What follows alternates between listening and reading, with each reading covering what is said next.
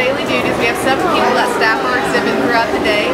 Um, we start our day at 5.30 in the morning. We're here until park closes. Uh, so our shifts are staggered throughout the day. Uh, our first uh, morning duties are basically maintaining the exhibit. We thaw all the snow, so every day the snow on the ground is fresh every day. We, we thaw it down, we scrub all the rock works. All our rock work is disinfected each day also, and we shovel the snow piles. We have five snow machines that produce about 4,000 pounds of snow a day, and we shovel them out in the mornings. And then we also shovel throughout the day to keep the snow fresh. Um, part of our daily maintenance also is obviously feeding the birds. Uh, we are right now we're going through about two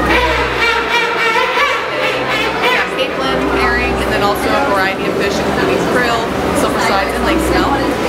And we have trays on the ice throughout the day, so the birds always have fish available to them so they can eat whenever they want. And we also do what we call water feeds, which is basically a bucket of fish that gets thrown into the water. And we do them every couple hours to keep the birds stimulated, to get them in the water.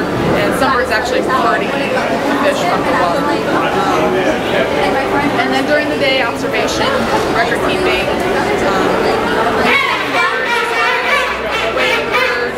um, changing bands when necessary, and then obviously record keeping.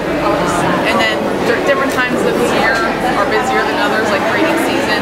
Also includes extensive record keeping and extensive observation, because we got to know who's pairing up with who,